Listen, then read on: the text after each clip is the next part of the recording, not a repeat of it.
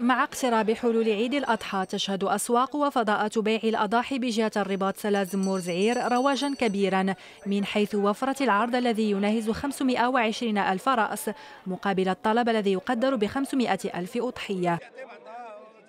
خلال زيارة ميدانية لسوق بيع الأضاحي بعين العودة بالمجال الترابي لعمل تسخيرات تمارة أشار عدد من الكسابة إلى ارتفاع أثمنة الأعلاف التي تثقل كاهل الفلاح رغم الدعم الذي تقدمه الدولة. بين المشاكل اللي اللي مطروحة حاليا في السوق هو أن الناس كيتشكوا شوية من السنك غالي عليهم.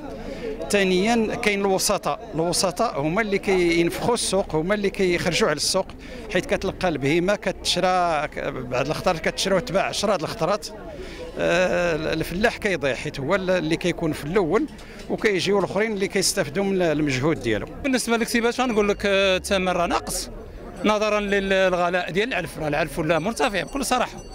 كساب راه تيعاني بكل صراحة. التمر راك تشوفوا ما بين 36 38 40 42 وراه موكل بكل صراحة راه موكل راه كل شيء تعرف هذا الشيء وحسب المديرية الجهوية للفلاحة لجهة الرباط سلازم مورزعير فإن العرض بالنسبة لأضاحي العيد يتميز هذه السنة بالوفرة. نتيجة توالي مواسم فلاحية جيدة ساهمت في توفير الكلاء والرفع من مستوى إنتاج القطيع وتحسن حالته الصحية. المصالح البيطرية التابعة للونصا في هذه الأيام اللي كتسبق العيد فكتقوم بجولات ميدانية في الأسواق وكذلك في في في, في المراعي لمراقبه الحالة الصحية ديال ديال القطيع وكذلك آه، كتكون آه، واحد العمل ميداني على الصعيد ديال المراقبة ديال ديال نقاط الحدود لمنع ظهور مرض حمى القلاعية. بالنسبة للعرض فهو بالنسبة للأغنام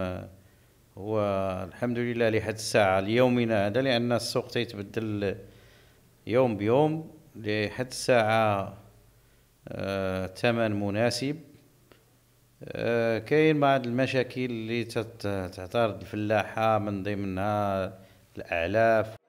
أثمنة الأضحية تخضع للعرض والطلب وتختلف حسب الجودة والصنف وسن الأضحية وكذا حسب المناطق وأماكن البيع. أما جهة الرباط سلازم مورزعير فبحكم موقعها الجغرافي تعتبر وجهة لعدد كبير من الكسابين الذين يتوافدون عليها من مختلف مناطق الإنتاج بالمغرب كالأطلس المتوسط ودكالة والحوز والمناطق الشرقية.